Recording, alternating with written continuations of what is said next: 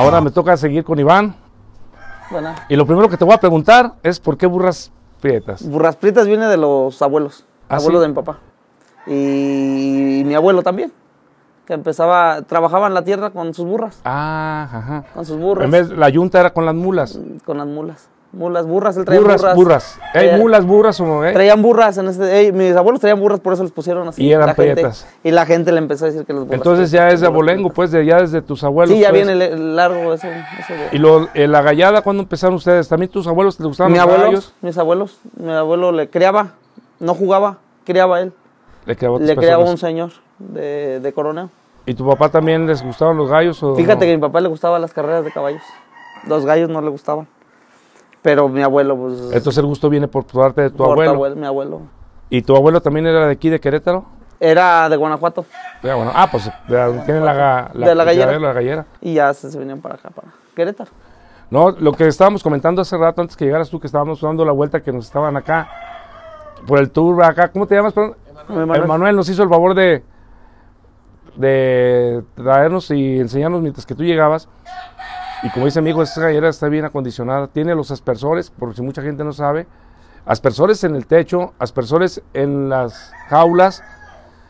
Y la humedad siempre la cuidas mucho Sí, y es muy mucho, importante. Trabajo mucho. Y también, como dices tú, tanto los pájaros no, no pueden entrar tan fácilmente. No entra. También eh, humectas con, con estos Con, aparatos, Este, humidificadores los humidificadores. también. Ya hablaron sobre eso mi hijo y tú.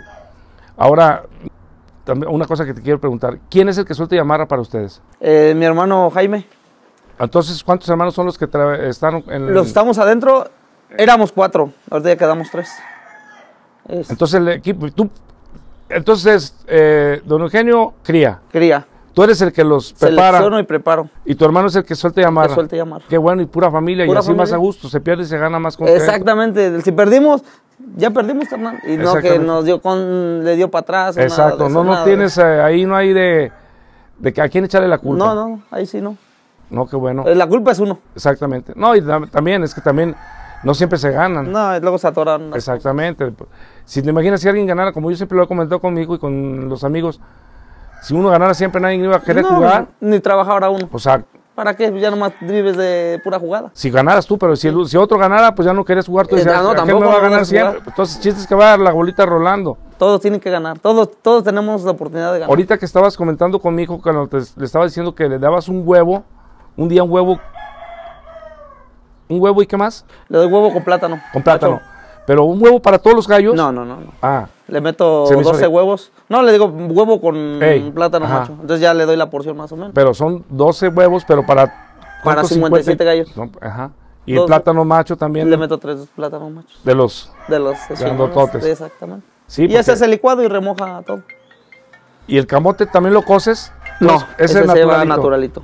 Eso fíjate que nunca, en, en todos los años que tengo de en la gallada, nunca me había tocado que un pastor les metiera camote. O si lo meten, nunca nos habían dicho. Nunca lo habían dicho. pues, ¿Y el camote por qué se te ocurrió meterlo?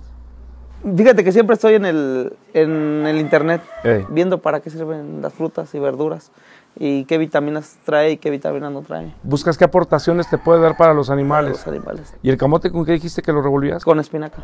Con la espinaca. ¿Y más o menos como cuánto camote le metes? Un camote Mm, grande. Le meto dos? un camote grande o si son medianones, dos. ¿Y de espinaca como qué tanto? Espinaca, un manojo más o menos. Un manojo. he visto como de cilantro. Pero esos también así naturalitos. Naturalito. Pero primero hay que lavarlos bien, ¿no? Y Sí, se desinfectan y ya se meten a... Sí, porque eso me estaba fijando, ¿no? No, Muy buen sistema que tienen todos ustedes. Le comentaba yo a Manuel que, que por qué le ponían esos, las mallitas, o sea, así con arribita y abajo. Abajo es para que no se vean los gallos que trabajen mejor, ¿verdad? Pero La arriba se mallita. me hizo raro. La mallita, la mallita es porque sí, luego sí les pega el, El sol. Traspasa el, la malla. Pero a pesar de que tienes arriba, todavía le pusieron abajo. Abajo. Entonces está canijo el Está cosa que canijo, luego se pone muy canijo. Pero los gallos abajo sí les alcanza a pegar. Pero un gallo, para que esté cómodo, yo le puse arriba. Que se suba a su, a su Más, palito. ah, más, darle más confianza, más, confianza. privacidad. Exactamente. Eso también se me hizo raro porque normalmente en otras galleras yo no había visto eso. Sí, sí, eso lo puse. Hay otra. Los dormía yo afuera antes Ajá. y el aire para que no les pegara directo. Y otra también cosa también que comenté con Emanuel, que ustedes ahí en, donde, en el cuarto de cuido lo tienen eh, con plafones y con cemento y todo para que el gallo esté más, eh, eh, ¿cómo decirlo? O sea, lo tienes eh, como las casas de adobe antes. Exactamente. Le metí, bueno, lo que tipo lleva es insolación. ¿eh? Le metí tabique, le metí este cartones este de huevo. ¿Para qué? Para el ruido. Para, para que estuviera Para, más... el para que co- comiera Eso más el no, no, no me lo había dicho Manuel, pero al medio le metiste los... car- Ah, En medio, y luego después va el unicel. En unicel. Eh, no sé, los- el panel Sí. que se aplana. Entonces, como Entonces- si fuera un congelador, Entonces, pero menos exacto, ruido. le metiste después eh, para evitar todo el ruido. Para que lo menos ruido que escuche un gallo. Eso es muy mejor. importante porque entre más descansado esté el gallo va, te va a rendir mejor. Exactamente. Exactamente. Y ahorita otra. Con poquito ruido, un gallo cacarea y ya la cacarearon todos. Y ya valió más, ya despertaron a todos. Sí, es cierto eso. ¿A Y- qué horas lo- normalmente los meten? Cinco y media. Y a este horario. A las cinco y media y ya hasta el otro día hasta las seis de la... Hasta las seis de la mañana. Entonces, vamos a decir que se ven tan fácil sus dos horas Dos horas. bien descansaditos, Bien pues. descansados. Entonces se levantan con ganas de... Con un chingo de ganas. ¿Y los, con los caminas aquí o no? Nada de caminada? Sí, volado.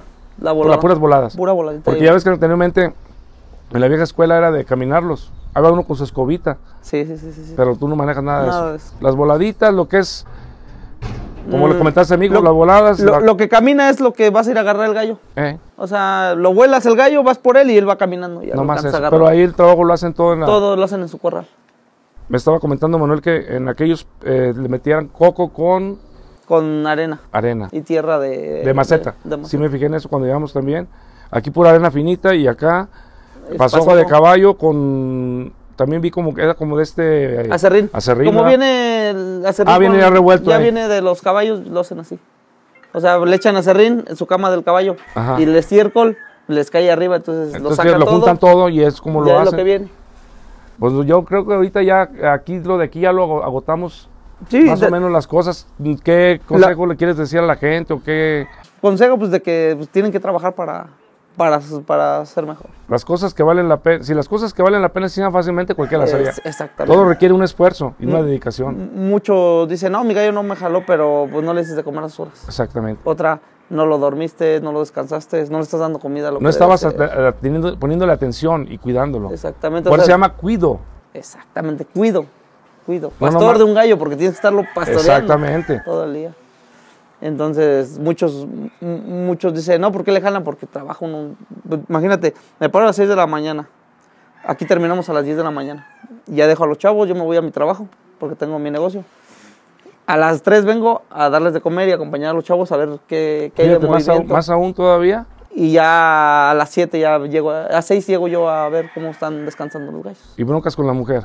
Y broncas, sí, broncas, con la mujer siempre. La tóxica porque es no lo le que gustan dijo, los gallos, pero... dijeron en un video ¿no? que primero la primera pelea tienes que ganarla con la vieja. Ya después. Exactamente. Sí, no, y sí es cierto, ¿eh? Pues sí, la verdad. Sí, pero una de dos, o se aguantan o se aguantan. Sí, sí, tiene que aguantar, si no, pues ya. Nos dejan con los gallos. Hay, hay un dicho que dice, o te aclimatas, o te, ya te la sabes, Sí, a lo- te Lo he escuchado, pero sí. Eh, así de fácil. Te- ah, comentando, Iván, eh, eh, llegando también lo primero que me fijé a la hora de entrar, que veo que tienes ahí tu, eh, ah, el, ¿cómo le llamamos? En todas las galleras, mm, normalmente grandes, que tienen mucho cuidado de, de desinfectar antes de entrar, Trampa de. tú tienes la trampa de desinfectar y me fijamos que, que es yodo. Es yodo. Es puro yodo que Puro metes, no le metes cloro. Puro yodo. No Te funciona cloro. mejor el yodo. El- lo que pasa es que el cloro es muy fuerte. Eh, también el olor. Y para los gallos. Y el, y el yodo no huele no, es tanto. suave, es suave. Y eh, otra, le sirve para la respiración a los gallos. Ah, lo sí. respiran y les limpia la vía respiratoria también. están más sanos. Y aparte, no nada más aquí en la pura entrada.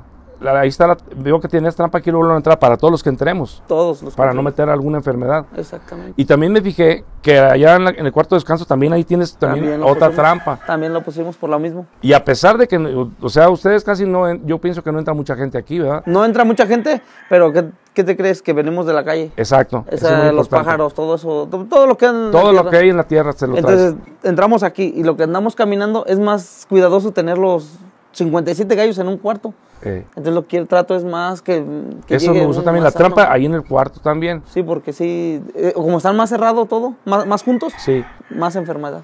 ¿Qué proporción le echas a- de yodo al agua? Porque es, hiciste tipo vado, Vado, para que se, precisamente se pueda meter bien el pie. es igual, un centímetro por litro. un Un centímetro por litro. centímetro por litro. ¿Y cada cuándo se lo cambias? Este, Como se vaya bajando, le vas no, poniendo, hay que limpiarlo. No, no, no, yo casi diario lo, lo trabajo. Hay que sacar. Todos los días. Este, la que pones hoy, Lo barro hacia afuera de la calle. afuera, y mañana se vuelve a Mañana le poner. mete nuevo. Todos los días. Como todos los días se riega, todos los Exactamente. días se. Son- no, y muy buen sistema eso. Ahí te va otra. Lo- yo cada, cada mes, cada 15 días, según como vea, Ujú. le, le desinfecto todas las camas y toda la gallera. Le meto al tinaco yodo. Y pues ya no batallas porque el- ya se desinfecta solo con la aspersión. Exactamente. Ya, cuando duermo los gallos, prendo toda la gallera. Entonces, todo el sistema de dispersión, tanto en el techo como en las jaulas, Vienen del tinaco. Entonces ahí nomás le metes al tinaco y ya no Limpio batallas. todo, limpio todo. Todo. ¿Cada qué? gallo ¿Cada mes? Cada mes. Ca- cada 15 días. Cada mes le meto, pero con bomba. Este, pero le meto otro, otro, Otro desinfectante. Otro desinfectante. ¿De cuál le metes? No recuerdo, la neta. Ahorita necesitamos verle la, la marca. Pero sí me lo dio el- también el médico. Pero es, es algo parecido al yodo. Algo, no, más fuerte. Mata, mata ¿cómo se llama? Ácaros, ¿o Mata qué? ¿Va virus, bacterias o qué? Todo, eh, este, zancudos. Ah, moscas, también el- Todo, lo, arañas, todo lo que... Ah, entonces está mejor. Ese le meto todo. Y luego le meto el yodo. Para mat- tumbarlo para hacia abajo. ¿Y eso cada cuándo lo haces? Cada mes. El- entonces cada 15 días Meto 15 días. y metes el, al el mes, yodo, le metes al el mes le otro. meto a- con Lo metes con bomba. Con bomba. A matar todo lo que haya de araña. Cuando zancudo. Fíjate que zancudo no los deja dormir también. Ah, no. no. Los deja. Pero Y pues ahorita ah, tú tienes súper enmayado. Se meten. Aún se así. meten, sí, se no, pues es que son bien chiquitos. Si ves, vete la. Esa se mete mucho.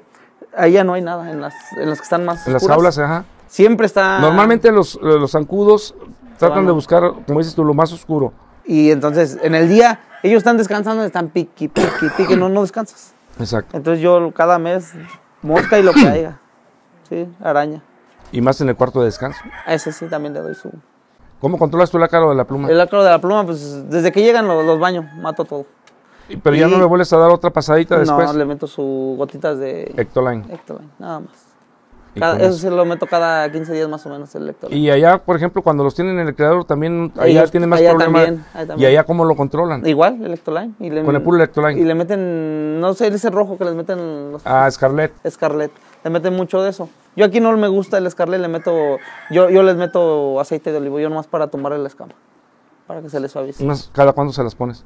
Yo cada 15, cada 15 le doy, antes de dormir. Una- unas pasaditas en las patitas, una, baña- esponjita, ¿o Una esponjita, una esponjita, Y con aceite de olivo. con aceite de olivo, nada más. Esa no me la sabía.